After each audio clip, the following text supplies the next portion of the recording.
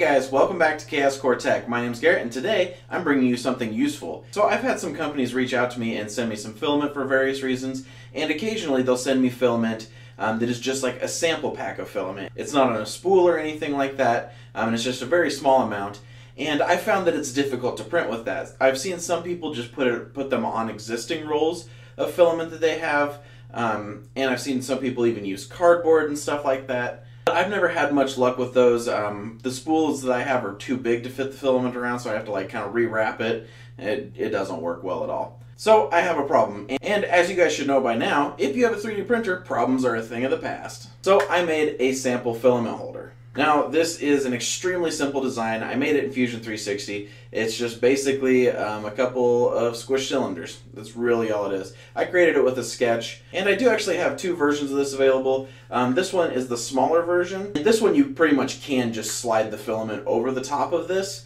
Um, I do include a bigger version of it. These outer cylinders are protruded quite a bit more to about the normal size of a spool holder, um, if that is important to you.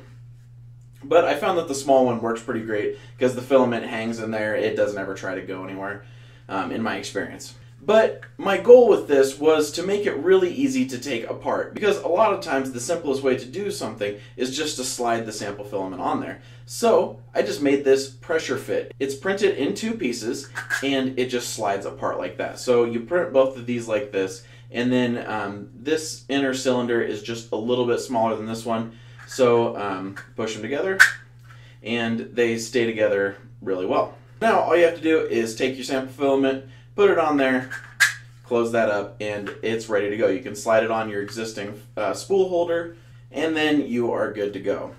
Now something like this probably exists out there. I looked briefly on Thingiverse, couldn't find anything, so I just thought I'd make my own. And I'll share it with you guys just in case you've been looking for something similar. Alright guys, well this was nothing exciting, no paint or anything like that um, just because it was just such a functional print. But honestly, this is the true power of 3D printers. I had a problem, I fixed it. And it wasn't very hard to do, it only took me a few minutes to model this. So, okay guys, well I hope you found this useful. As always, links are down in the description. If you thought this video was cool, make sure you give it a thumbs up and get subscribed. I put out new modeling videos every week. And then that's all for me guys. I'll see you next time.